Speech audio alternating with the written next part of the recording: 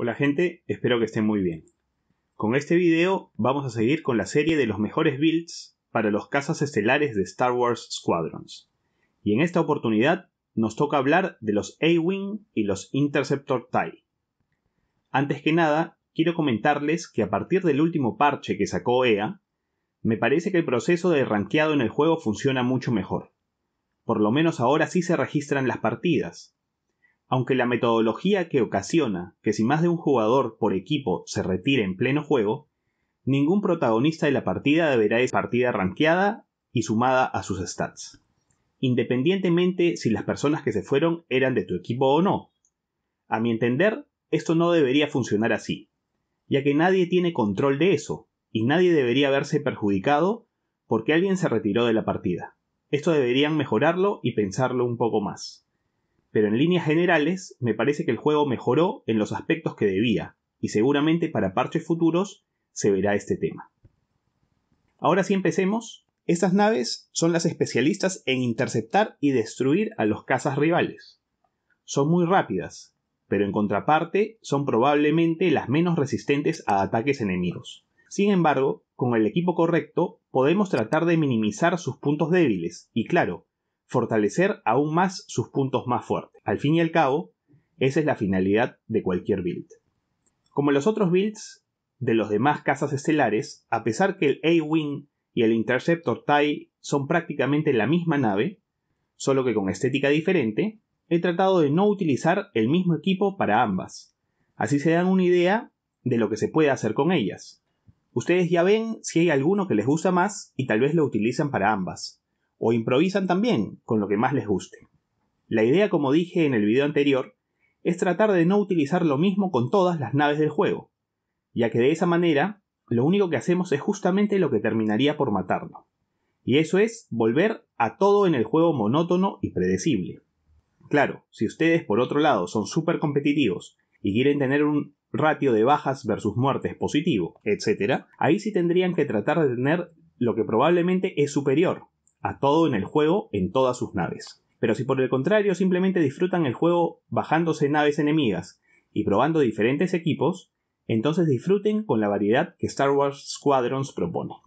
Empecemos entonces con la A-Wing. Como ya dije, es una nave muy veloz, y el equipo que utilizo para ella es como arma principal el cañón de fuego rápido, que me permitirá disparar mucho más rápido que con el resto de armas, pero tendrá una duración bastante más corta, por lo que lo recomendable es esperar a que la nave enemiga esté cerca y no desperdiciar disparos desde muy lejos.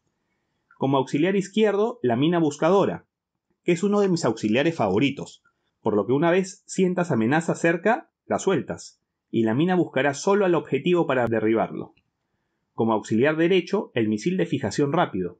Con este misil podemos una vez tenemos al caza estelar enemigo cerca, fijarlo rápidamente y disparar un misil que lo seguirá y ocasionará una explosión muy importante, así él esté usando contramedidas. Como contramedida, las ojivas buscadoras, que también me parecen las mejores, que son unos proyectiles que interceptarán a misiles rivales que nos estén siguiendo. Como casco, el casco amortiguador, que nos hará algo más resistentes a ataques enemigos, y como escudo, el sobrecargado, que nos hará mucho más resistentes a los ataques, pero sacrificará un poco de la velocidad final de la nave, y como motor el de microimpulso, que también va a sacrificar un poco de velocidad, pero nos permitirá maniobrar con mucha mayor facilidad y esto hará que podamos tener en la mira a los enemigos a pesar que estos maniobren para perdernos. Como ven en este build es muy versátil y nos permitirá tener mucha mayor maniobrabilidad de la nave a pesar que si en efecto sacrificamos un poco de velocidad del A-Wing. En el caso del Interceptor TIE, siendo este una nave muy parecida al A-Wing, hemos de todas maneras escogido cierto equipo diferente. Como arma principal tenemos a la que viene por defecto, que es el cañón láser estándar. Como auxiliar izquierdo, la ya conocida no solo en este video, sino por la mayoría de builds con las demás naves, que es la mina buscadora. Como auxiliar derecho, el misil anticaza estelar.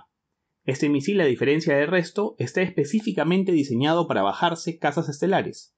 El resto de misiles se pueden también usar contra las naves en batallas de flota. Como contramedida, las también ya conocidas ojivas buscadoras. Como casco tenemos el estándar, ya que me parece proporciona una protección equilibrada, tanto contra el láser como contra misiles, y no sacrificamos en velocidad, ya que como motor utilizamos igual que en el A-Wing el de microimpulso, lo que ya hará que perdamos un poco de velocidad, a cambio de darnos, como en el bit anterior, también mayor maniobrabilidad para mantener a nuestros enemigos por más tiempo fijados en la mira. Habiendo terminado con el build de estas naves, solo nos quedaría para el siguiente video hablar un poquito de las naves de apoyo en el juego. Una familia de naves también muy importante, pero que me parece está algo menospreciada, ya que su objetivo primario es el de ayudar a los demás compañeros antes que el de derribar enemigos, pero con el equipo adecuado se vuelve muy divertidas de utilizar. Además, crucemos los dedos para que, como dije en el video anterior, el de la última actualización del juego, EA nos complazca y agregue algo más de contenido aparte de los cosméticos que seguro irán agregando poco a poco. De repente algún mapa más o algún grupo de casas estelares estaría realmente muy bueno. Bueno gente, espero que el video les haya gustado. Si fue así, por favor denle al pulgar arriba y compártanlo con amigos o con alguien que ustedes crean el video le puede interesar. Así ayudarán muchísimo al canal. También suscríbanse y toquen la campanita para que no se pierdan ninguna novedad de Star Wars Squadrons y muchas otras que tendremos por acá en Loot Gaming. Un abrazo muy fuerte y hasta la próxima.